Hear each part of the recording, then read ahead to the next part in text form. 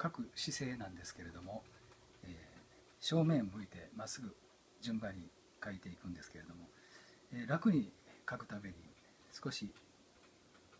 左手を、えこのように置いて、え体をだんだん傾いて書かれる方がいるんですけどそうするとだんだん字も左に傾いてきますので、